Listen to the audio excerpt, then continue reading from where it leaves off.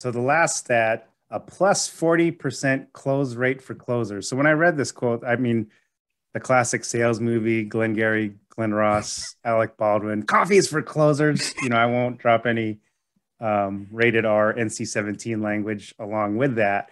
Um, but talk to me about this. You know, everyone wants to be a closer, you know, it's, it's harder on the phone. So talk to me about this stat. Man, I could talk about this all day, but I'll keep it brief. So the I would say the the average average Joe, no offense to Joe over here, Joe's my man.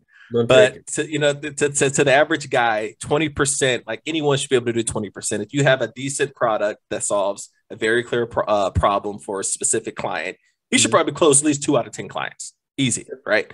Um, 40% to me is the new normal in terms of like actually like having, you know, a sustainable business that can, you know, survive any market and, you know, you can actually invest in leads and have a maybe somewhat of competitive edge usually to get to 40%, it, the difference between 20 and 40, no joke, don't laugh, guys, is follow up.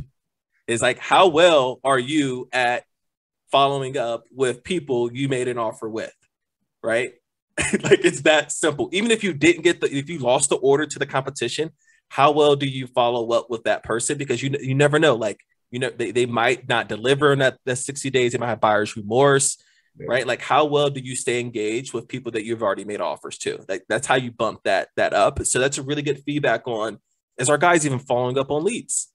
You right. can get into specific talented stuff. Like you can obviously boost that 40% to, you know, closer to 60 if you have really good skill and, you know, good, uh, let's say promotions and know how to mm-hmm. use logistical bar- boundaries. Right. But I think 40% is a really good barrier to like hold your sales team accountable. Like, how well are these guys following up with leads? They should be able to 20% in their sleep. Like, how well are they with following up on deals? Um, so yeah.